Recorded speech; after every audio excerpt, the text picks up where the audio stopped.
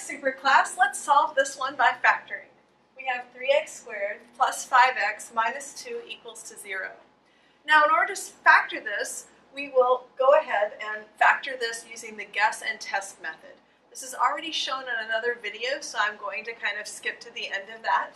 So notice if we FOIL this out, we get 3x squared plus 6x minus 1x is 5x, and minus 1 times 2 is minus 2.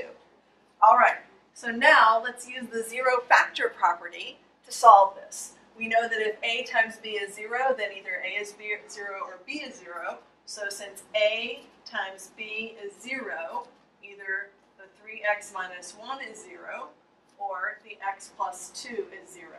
So either 3x minus 1 is 0, or x plus 2 is 0.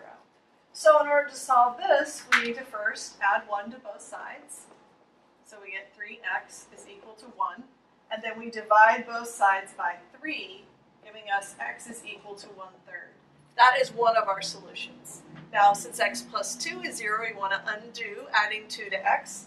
So we subtract 2. Of course, in math, we do that on both sides, which gives us that x is equal to negative 2. So our solution is 1 third minus 2. Did you get that? Good job, class. Hi, superclass. Let's solve by factoring. So here we have 4x squared minus 4x minus 3 is 0. We want to factor this using the guess and test method. So we know that factors of 4 are 1 and 4 and 2 and 2. And factors of 3, since that's prime, are 1 and 3. So some combination of these should come out to factor, we hope. So I will start with the smaller factors first and hope that those will work. So 4x squared could split into 2x and 2x, I'm guessing.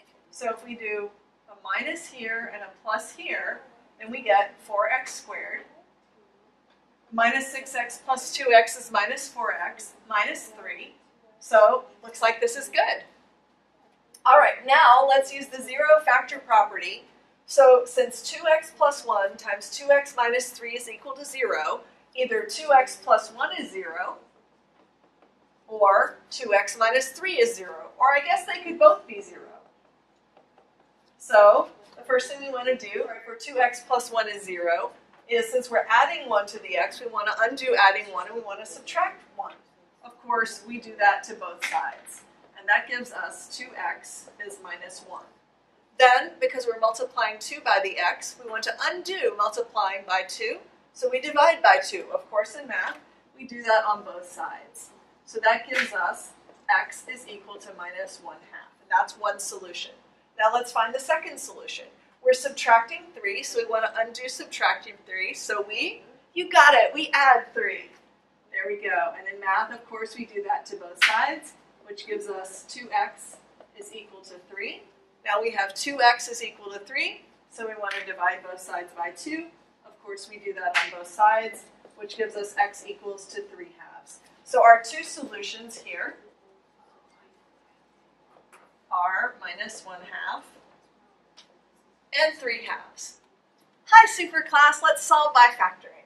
Let's solve 5x squared plus 2x minus 3 is 0. So, since 5x minus 3 times x plus 1 is equal to 0 by the zero factor property, either 5x minus 3 must be 0, or x plus 1 must be 0. Or I guess they could both be 0. So, let's solve this one first. Since we're subtracting 3 from the x, we want to add 3, right? That's undoing subtracting 3. Of course, in math, we add it on both sides, which gives us 5x is 3.